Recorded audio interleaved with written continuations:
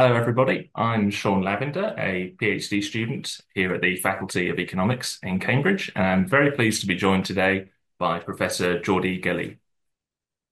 Uh, Jordi is a senior researcher at the Centre for Research in International Economics, as well as a professor at UPF and the Barcelona School of Economics.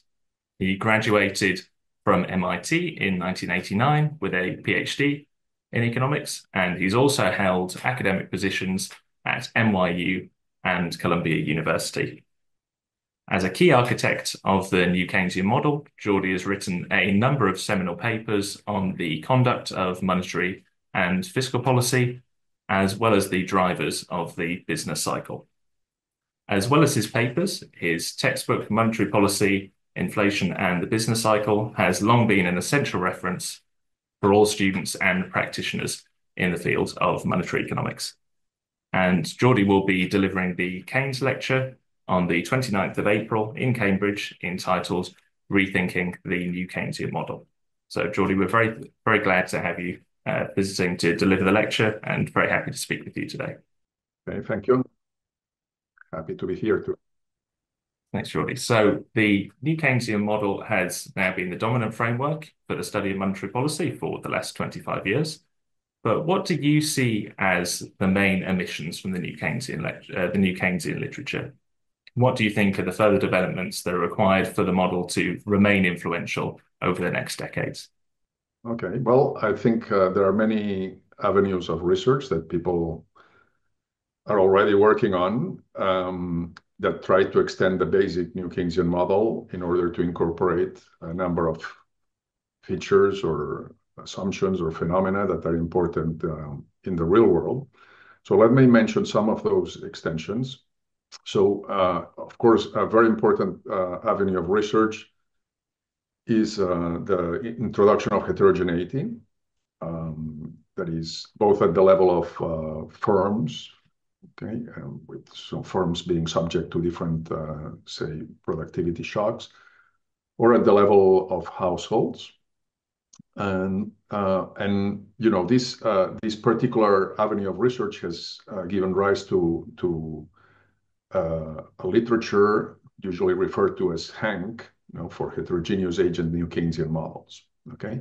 Now, these models um, have become very popular, but at the same time, you know, um, are somewhat uh, controversial because uh, they are unusually complex relative to the standard models, and they require um, numerical methods in order to be solved and so on. Okay.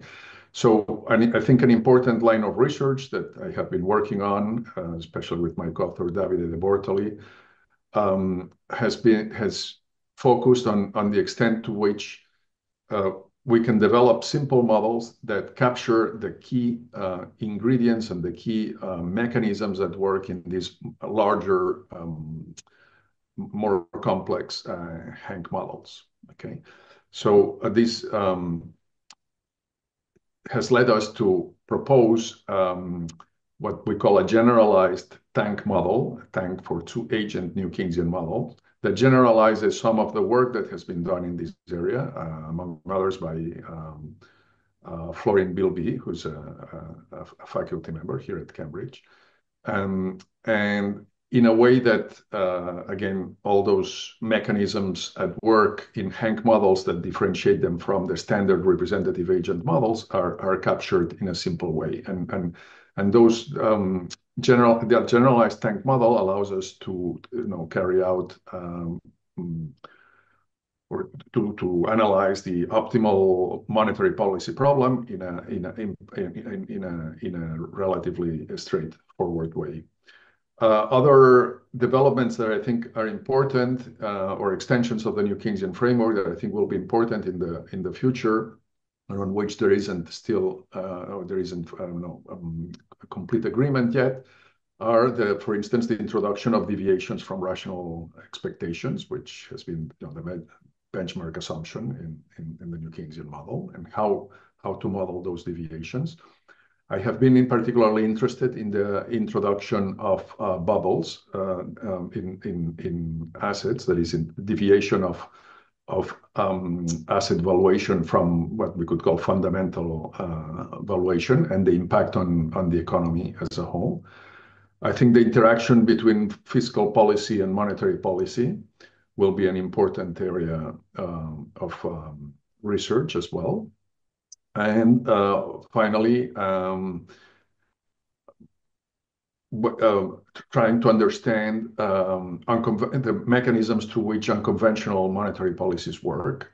Forward guidance, in particular, is relatively can be embedded, and it has been embedded in the New Keynesian model in a relatively straightforward way.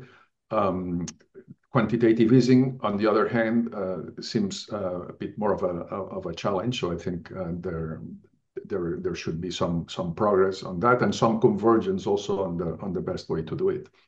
Now, in in in my lecture, the purpose of my lecture, which as as you as you said, is um, rethinking the new Keynesian model. So what I will try to do in my lecture is to is to is to stress the um, um, the role that macro models, but in particular the new Keynesian model, can play in enhancing our understanding of the of the mechanisms that are at work uh, and that shape, you know, economic fluctuations. Um, and to me, this is as important as building, you know, large, um, realistic models um, to understand fully the mechanisms at work, even if it's in, in the context of relatively simple models.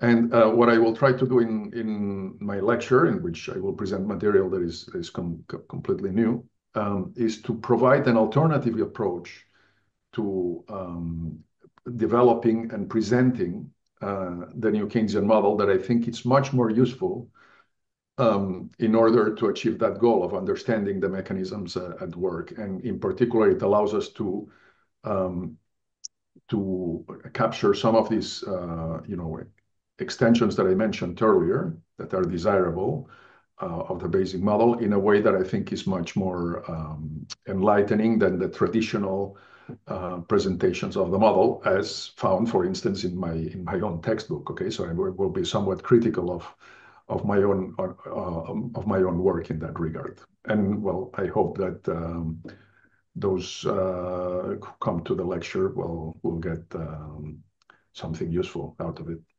Great. Thank you very much. Well, yeah, that all sounds very interesting, and I'm sure that everyone at the faculty is uh, very excited to hear your lecture in April. So thank you very much for joining us. Thank you. I look forward to it.